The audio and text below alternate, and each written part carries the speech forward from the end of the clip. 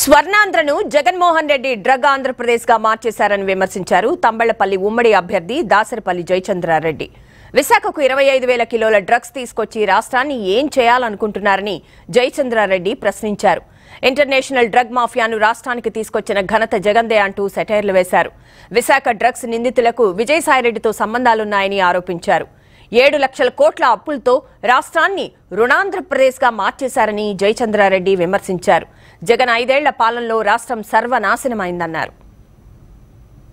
స్వర్ణాంధ్రప్రదేశ్గా వెలుగొందాల్సిన మన ఆంధ్రప్రదేశ్ని మన వైకాపా ప్రభుత్వం జగన్మోహన్ రెడ్డి నాయకత్వం కంప్లీట్గా డ్రగ్ ఆంధ్రప్రదేశ్గా మార్చేసిన వైనం చూస్తాను దానికి నిదర్శనమే ముందే మన దగ్గర ఎక్కడ చూసినా ఎక్కడ మన దేశంలో ఎక్కడ గంజాయి పట్టుబడినా దాని మూలాలు ఆంధ్రప్రదేశ్ నుంచే ఉన్నాయి ఆంధ్రప్రదేశ్లోనే ఉన్నాయి.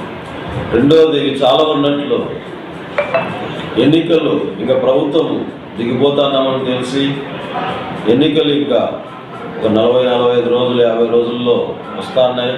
మన ప్రభుత్వం ఇంకా అధికారం రాదు. అధికారం రాకు.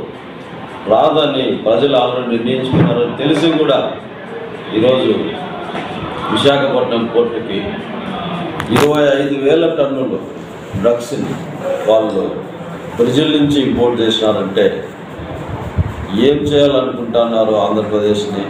కేవలం ఈ ఐదే సంవత్సరాలలో వాళ్ళు చేసింది ఏమయ్యా అంటే ఒక రెండు లక్షల సెంట్రల్ గవర్నమెంట్ ఇచ్చిన సూచన మేరకు సెంట్రల్ గవర్నమెంట్ ఇచ్చిన ఫండ్స్తో సెంట్రల్ గవర్నమెంట్ స్కీమ్స్ కోసం ఒక గ్రామ సచివాలయాలను ఎంప్లాయ్మెంట్ ఇవ్వడం తప్ప చేసింది ఏమీ లేదు ఐదు సంవత్సరాల్లో.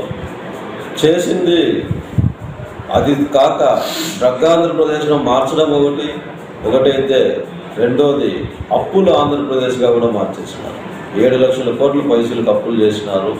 ఆ ఏడు లక్షల పై కోట్ల పైసలకు అప్పులకు గాను ఏడు పైసలు కూడా ఎక్కడ అభివృద్ధి లేదు.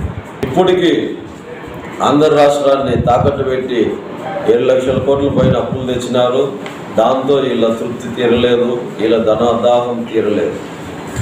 యూ- యూత్ని ఉద్యోగాలు ఇచ్చి ప్రోత్సహించాల్సిన యూత్ని డ్రగ్స్ ఇచ్చి బానిసలు చేసి వాళ్ళ పేరెంట్స్కి దుఃఖాన్ని మిగిలిస్తున్నారు.